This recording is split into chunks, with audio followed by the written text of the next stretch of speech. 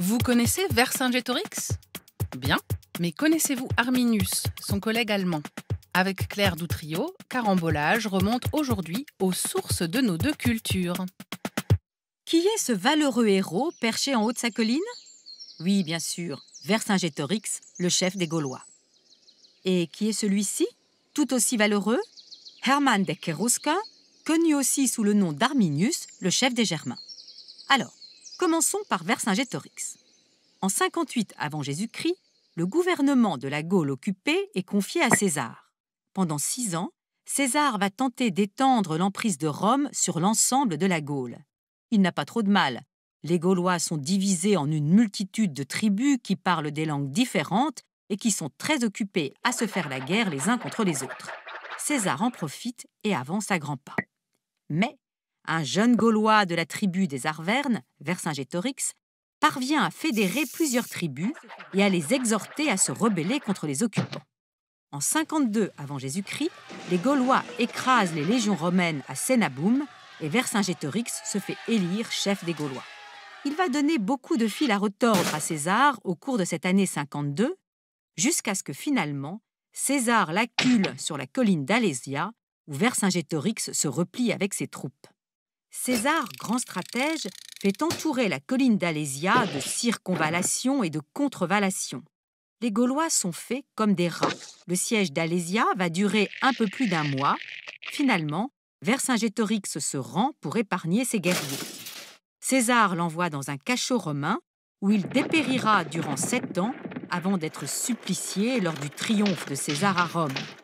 La défaite d'Alésia parachève la conquête de la Gaule par les Romains. Et c'est en 1865 que Napoléon III fait ériger la statue de 13 mètres 60 au sommet de la colline d'Alésia. Vercingétorix est l'emblème du résistant à l'envahisseur, expression qui sera d'ailleurs reprise un siècle plus tard pour qualifier Astérix. Dans son récit La guerre des Gaules, César raconte ou plutôt laisse entendre sa difficulté à envahir les territoires des Germains. Mais les Romains sont tenaces et ils créent bon nombre de cités sur la rive gauche du Rhin, comme Trèves ou Cologne. En 9 après Jésus-Christ, l'empereur Auguste décide d'en finir avec les rebelles germains et le gouverneur Varus, à la tête de 20 000 hommes, tente d'envahir le nord de la Germanie, les territoires à droite du Rhin. Seulement voilà, en Germanie, un jeune guerrier de la tribu des Kérusques va troubler la fête. Il porte un nom latin, Arminius, car son père, un Germain assimilé, l'a envoyé dans une école d'officiers à Rome. Mais face aux exactions de la campagne de Varus, Arminius se souvient de ses origines, il redevient Hermann, il fédère les troupes de Germanie et dans une bataille décisive, il parvient à arrêter la progression de Varus. L'armée romaine est littéralement massacrée en 9 après Jésus-Christ. Tout comme pour la bataille d'Alésia, les historiens divergent sur le lieu exact de cette victoire historique. Arminius a-t-il réellement battu Varus et ses légions dans la sombre forêt de Teutoburg Les fouilles récentes laissent penser que ce serait peut-être un peu plus au nord-ouest, près d'Osnabrück. Il paraît que le pauvre empereur romain aurait pleuré Varus, ô Varus, rends-moi mes légions. L'exploit d'Arminius, qui d'ailleurs sera finalement vaincu par Germanicus sept ans plus tard, va tomber peu à peu dans l'oubli.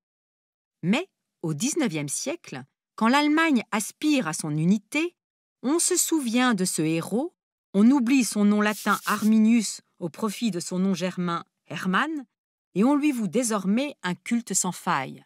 Et, entre 1838 et 1875, on lui érige un superbe monument de 53 mètres 44, le Hermannsdenkmal, près de Detmold, en Westphalie. Hermann est désormais mobilisé par les nationalistes de tout poil, et naturellement, Hitler aussi se reconnaîtra en lui. Bon, les revoici côte à côte. Hermann à droite, Vercingétorix à gauche. On peut jouer au jeu des dix différences. Hermann arbore un magnifique casque, tandis que les cheveux de Vercingétorix flottent au vent. Hermann pointe son épée au ciel, tandis que celle de Vercingétorix pointe le sol. Mais la différence la plus importante ne se voit pas comme ça. C'est que celui-là, Vercingétorix, tous les petits Français le connaissent, au moins de nom. C'est un héros national, toujours en service. on en oublierait presque qu'il s'est fait battre piteusement par les Romains. Tandis que celui-là, Hermann ou Arminius comme on voudra, bien peu de jeunes Allemands sont capables d'associer quoi que ce soit avec son nom. Eh oui, dans l'Allemagne contemporaine, on a bien peur de glorifier les héros de l'histoire et on s'attarde fort peu à l'école sur les mérites de ce valeureux Germain qui est pourtant parvenu à massacrer l'occupant romain par légion entière. Seuls, quelques Allemands un peu plus âgés se souviennent de la chanson populaire Als die Römer frech geworden, sum, sum, sum, sum, sum, sum, zogen sie nach Deutschlands Norden, sum, sum, sum, sum, sum, sum, vorne mit Trompetenschall, tätere, zog der Generalfeldmarschall, tätere, Herr Quintinius Varus, wow, wow, wow, wow, wow, wow, Herr Quintinius Varus, tätere, teng, tätere, teng, tätere, teng, teng, teng, teng, teng.